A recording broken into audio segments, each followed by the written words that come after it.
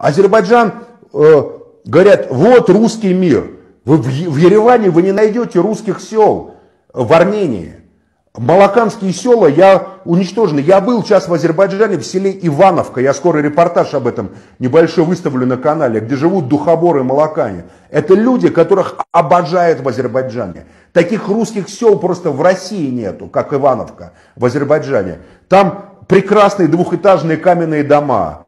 Колхоз. Гейдар Алиев лично разрешил им по всему Азербайджану. Колхозов нет, говорит он, приказом в Ивановке, потому что он дружил с приятелем колхоза Никитиным, и он помог, понимал, какую роль играет Ивановка, эти духоборческие села значит, для Азербайджана. Вам, им, вам мы разрешаем оставить колхоз, то есть беспоевое совместное владение землей. Я там был, русские говорят, мы живем тут русские люди, наши значит, ребята воевали в армии, у нас один погиб, мальчик, к сожалению, вот девятого в конце вот из Ивановки, Духобор, раненые есть там, понимаете, там и так далее. Вообще много русских погибло, э, достаточно, воюя в азербайджанской армии. Поэтому, а что вы слушаете в Москве этих пропагандонов? Зачем вы их слушаете? Азербайджанцы, не слушайте их. Это не голос русского народа, это не голос России.